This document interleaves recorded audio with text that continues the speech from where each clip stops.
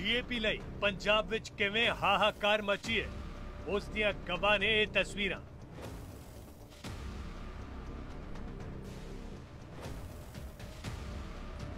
ਕਿਸਾਨ ਖੱਜਲ ਖੁਆਰ ਹੋ ਰਿਹਾ, ਸੜਕਾਂ ਮੱਲ ਰਿਹਾ, ਧਰਨੇ ਦੇ ਰਿਹਾ, ਤੇ ਜਦੋਂ ਗੱਲ ਕਿਸੇ ਨੇ ਨਾ ਸੁਣੀ, ਤਾਂ ਹੁਣ ਕਿਸਾਨਾਂ ਨੇ ਡੀਏਪੀ ਦੀ ਭਰੀ ਟ੍ਰੇਨ ਹੀ ਰੋਕ ਲਈ, ਪਰ ਡੀਏਪੀ ਫਿਰ ਵੀ ਨਹੀਂ ਮਿਲ ਰਹੀ।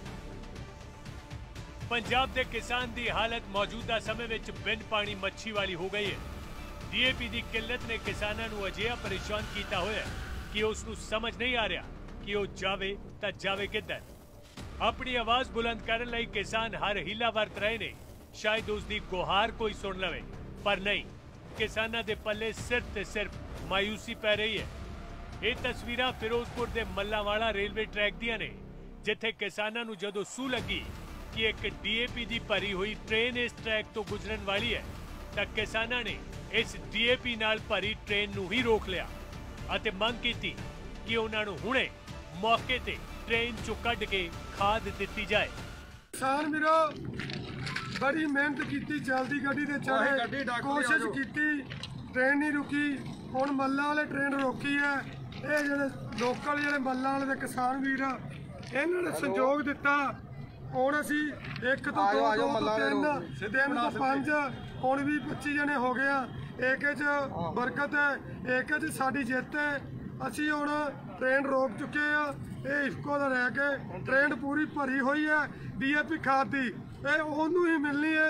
ਜਿਹੜਾ ਕਿਸਾਨ ਵੀਰ ਇੱਥੇ ਆਣ ਕੇ ਟ੍ਰੇਨ ਰੋਕਣ ਦੇ ਵਿੱਚ ਸ਼ਾਮਲ ਹੋਏਗਾ ਇਹ ਜਿਹੜੇ ਘਰੇ ਬੈਠੇ ਨੇ ਉਹਨਾਂ ਨੂੰ ਬਿਲਕੁਲ ਖਾਦ ਨਹੀਂ ਮਿਲਣੀ। ਉਧਰ ਮਲੋਟ ਵਿੱਚ ਵੀ ਕਿਸਾਨਾਂ ਨੇ ਆਪਣਾ ਰੋਸ ਪ੍ਰਗਟ ਕਰਨ ਲਈ ਬਠਿੰਡਾ ਮੁੱਖ ਚੌਕ ਤੇ ਧਰਨਾ ਲਾ ਕੇ ਆਵਾਜਾਈ ਠੱਪ ਕਰ ਦਿੱਤੀ। ਕੇਂਦਰ ਅਤੇ ਪੰਜਾਬ ਸਰਕਾਰ ਖਿਲਾਫ ਜ਼ੋਰਦਾਰ ਨਾਅਰੇਬਾਜ਼ੀ ਕੀਤੀ।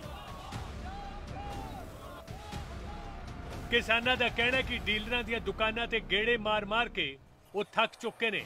ਕਈ-ਕਈ ਕਿਲੋਮੀਟਰ ਦੂਰੋਂ ਰੋਜ਼ਾਨਾ ਆਉਂਦੇ ਨੇ। ਡੀਏਪੀ ਦੀ ਪਰਚੀ ਤਾਂ ਕੱਟ ਦਿੱਤੀ ਜਾਂਦੀ ਹੈ, ਪਰ ਦੇਰ ਸ਼ਾਮ ਤੱਕ ਖਾਦ ਆਉਂਦੀ ਨਹੀਂ ਤੇ ਉਹਨਾਂ ਨੂੰ ਬੈਰੰਗ ਘਰ ਪਰਤਣਾ ਪੈਂਦਾ ਹੈ। ਸਾਨੂੰ ਘੱਟੋ ਘੱਟ ਵੀ 10 ਦਿਨ ਹੋ ਗਏ ਇੱਥੇ ਆਉਂਦਿਆਂ ਨੂੰ ਲਗਾਤਾਰ ਪਰਚੀਆਂ ਕੱਟ ਦਿੰਦੇ ਆ 20-20 ਕਿਲੋਮੀਟਰ ਤੋਂ ਜ਼ਿਮੀਂਦਾਰ ਆਉਂਦੇ ਆ, ਕਿਸਾਨ ਇੱਥੇ ਬੈਠੇ ਬੈਠ ਕੇ ਮੁੜ ਜਾਂਦੇ ਆ। ਮੁੜ ਕੇ ਕਹਿੰਦੇ ਖਾਦ ਆਊਗਾ 10-10 ਦਿਨ ਹੋ ਗਏ ਲਾਰਾ ਲਾਈ ਜਾਂਦੇ ਨੇ। ਹਰ ਬੰਦਾ ਕੋਈ ਵਿਹਲਾ ਨਹੀਂ ਕੰਮ ਦਾ ਸੀਜ਼ਨ ਹੈ। ਜਾਂ ਇੱਕ ਜਵਾਬ ਦੇ ਦਿੰਦੇ ਵੀ ਸਾਨੂੰ ਨਹੀਂ ਮਿਲਦੀ ਖਾਦ, ਜਾਂ ਨਹੀਂ ਆਉਣੀ। ਅਸੀਂ ਖੱਜਲ ਖਲਾਰ ਤਾਂ ਨਾ ਹੋਈਏ, ਸਵੇਰ ਤੜਕੇ ਆਉਂਦੇ ਸ਼ਾਮ ਤੱਕ ਬੰਦੇ ਇੱਥੇ ਸਾਰਾ ਦਿਨ ਬੈਠੇ ਰਹਿੰਦੇ ਆ। ਉਧਰ ਡੀਏਪੀ ਦੀ ਕਿੱਲਤ ਬਾਰੇ ਫਰੀਦਕੋਟ ਦੇ ਜ਼ਿਲ੍ਹਾ ਖੇਤੀਬਾੜੀ ਅਧਿਕਾਰੀ ਪੱਲਾ ਝਾੜ ਰਹੇ ਨੇ। ਕਹਿਣਾ ਕਿ ਸਾਰਾ ਕਸੂਰ ਕੌਮਾਂਤਰੀ ਬਾਜ਼ਾਰ ਵਿੱਚ ਡੀਏਪੀ ਦੇ ਰੇਟ ਵਧਣ ਦਾ ਸਾਨੂੰ 16000 ਮੀਟ੍ਰਿਕ ਟਨ ਚਾਹੀਦੀ ਸੀ ਜ਼ਿਲ੍ਹੇ ਦੇ ਵਿੱਚ। ਪਰ ਸਪਲਾਈ ਇਸ ਤੋਂ ਪਹਿਲਾਂ ਜਿਹੜਾ ਇਹ ਰੇਟ ਕੱਲ ਲੱਗਾ ਹੈਗਾ, ਉੱਤਮ ਦਾ, ਉਸ ਤੋਂ ਪਹਿਲਾਂ 6200 ਐਮਟੀ ਸਪਲਾਈ ਹੋਈ ਸੀ, ਮਤਲਬ 41% ਸਪਲਾਈ ਹੋਈ ਸੀ। 90% ਡੀਏਪੀ ਜਿਹੜੀ ਹੈ ਇੰਪੋਰਟ ਹੀ ਹੁੰਦੀ ਹੈ, ਬਾਹਰੋਂ ਮੰਗਵਾਈ ਜਾਂਦੀ ਹੈ। ਤੇ ਜਦੋਂ ਰੇਟ ਵੱਧ ਗਿਆ, ਤੇ ਉਹਦੀ ਫਿਰ ਸਬਸਿਡੀ ਸਰਕਾਰ, ਸੈਂਟਰ ਸਰਕਾਰ ਵੱਲੋਂ ਵਧਾਉਣੀ ਚਾਹੀਦੀ ਸੀ, ਜਿਹੜੀ ਕਿ, ਜਿਹੜੀ ਵਧਾਉਣ ਦੇ ਵਿੱਚ ਥੋੜਾ ਜਿਹਾ 15-20 ਦਿਨ ਲੇਟ ਹੋ ਗਈ। ਤੇ ਉਹਨਾਂ ਚਿਰ ਜਿਹੜਾ ਜਿਹੜੇ ਪ੍ਰਾਈਵੇਟ ਕੰਪਨੀਆਂ ਵਾਲੇ ਜਾਂ ਜਿਹੜੇ ਉਹ ਖਰੀਦਣਾ ਸੀ ਅਪੋਰਟ ਕਰਨਾ ਸੀ, ਉਹਨਾਂ ਨੇ ਖਰੀਦਿਆ ਨਹੀਂ ਕਿਉਂਕਿ ਉਹਦਾ ਰੇਟ ਜ਼ਿਆਦਾ ਸੀ ਮਾਰਕੀਟ ਦੇ ਵਿੱਚ, ਪਰ ਜਿਹੜਾ ਸਰਕਾਰ ਵੱਲੋਂ ਜਿਹੜੀ ਸਹੂਲਤਾਂ ਸਬਸਿਡੀ ਦੇ ਰੂਪ 'ਚ ਉਹ ਘੱਟ ਦਿੱਤੀ ਜਾ ਰਹੀ ਹੈ ਆਮ ਵਰਗੀ ਤਾਂ ਦੇਖੋ ਜਿਹੜਾ ਨੁਕਸਾਨ ਤਾਂ ਫ- ਕਿਸਾਨ ਭਰਾਵਾਂ ਦਾ ਹੋਇਆ, ਕਿਉਂਕਿ ਜਿਹੜਾ ਬਿਜਾਈ ਆ, ਉਹ 15 ਨਵੰਬਰ ਤੱਕ 80% ਹੋ ਜਾਂਦੀ ਹੈ, ਪਰ ਡੀਏਪੀ ਦੀ ਥੋੜੀ ਸ਼ਾਰਟੇਜ ਹੋਣ ਕਰਕੇ ਜਿਹੜੀ ਬਿਜਾਈ ਆ, ਉਹ ਹਫਤਾ ਲੇਟ ਜਾ ਰਹੀ ਹੈ। ਸੁਣਿਆ ਤੁਸੀਂ? ਇਹ ਹੁਣ ਲਗਭਗ ਸਾਫ਼ ਹੈ ਕਿ ਕੁਝ ਦਿਨ ਹੋਰ ਅੱਗੇ ਕਿਸਾਨਾਂ ਨੂੰ ਡੀਏਪੀ ਦੀ ਕਿੱਲਤ ਸੁੱਖ ਦਾ ਸਾਹ ਨਹੀਂ ਲੈਣ ਦੇਗੀ। ਪਰ ਇਹਨਾਂ ਹਾਲਾਤਾਂ ਦੇ ਮੱਦੇਨਜ਼ਰ ਜੋ ਸਥਿਤੀ ਬਣੀ ਹੋਈ ਹੈ, ਉਸ ਨੂੰ ਵੇਖਦਿਆਂ ਇਸ ਵਾਰ ਕਣਕ ਦੀ ਬਿਜਾਈ ਪਛੜੇਗੀ ਜ਼ਰੂਰ। ਅਤੇ ਜਿਸ ਤੋਂ ਹੋਣ ਵਾਲਾ ਨੁਕਸਾਨ ਪਹਿਲਾਂ ਹੀ ਮੌਸਮਾਂ ਦੀ ਮਾਰ ਚੱਲ ਰਹੇ ਕਿਸਾਨ ਤੇ ਪੈਣਾ ਤੈਅ ਹੈ।